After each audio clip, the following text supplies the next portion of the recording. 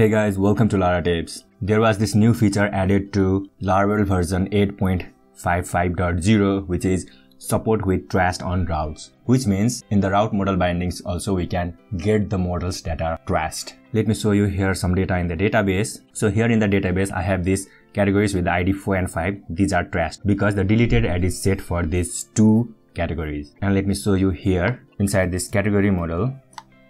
Here you can see I have added soft delete straight. Now let us try this route model binding. Here is the route category dash category and we have just passed here model. Whenever we do this, Laravel will automatically fetch the category whatever we have passed over here.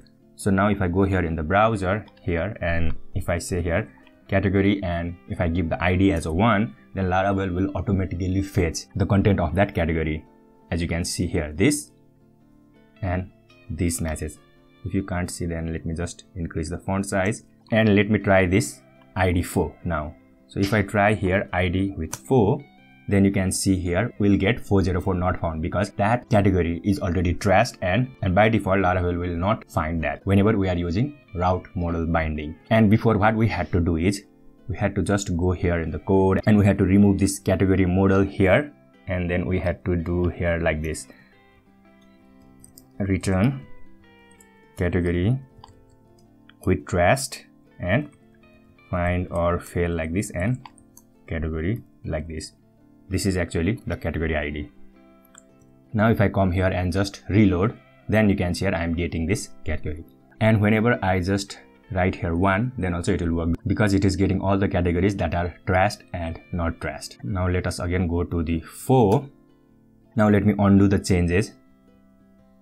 And now let me write here 4 and we are again back to 404 but now this new feature which is with trashed added in the route by which we can also get the trashed categories. So here after the name or before the name you can just write it anywhere. I can just write here with trashed like this. And whenever I do this it will get the trashed data as well. So now if I come here and reload now I can get the category with the ID of 4 as well. And we don't have to remove this category and again write find or fail logic over here